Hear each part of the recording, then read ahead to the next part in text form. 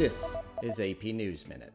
A black man has died in Minneapolis police custody after video shared online from a bystander showed a white officer kneeling on his neck during his arrest. The man was pleading with officers for minutes that he couldn't breathe. FBI and state agents are investigating. The New York Stock Exchange has reopened to traders after having been shut down for two months. Governor Andrew Cuomo rang the opening bell. Stocks opened sharply higher as hopes for economic recovery overshadow worries over the coronavirus pandemic. Fierce storms battered central Cuba Monday, causing flooding, damaging homes and buildings, and leaving thousands without power. At least two tornadoes with winds in excess of 120 kilometers per hour slammed into the outskirts of the picturesque tourist center of Trinidad.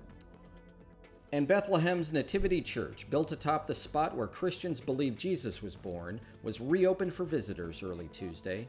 The church was closed on March 5th as the first cases of the virus were reported in the West Bank. Ron Harris, Associated Press, with AP News Minute.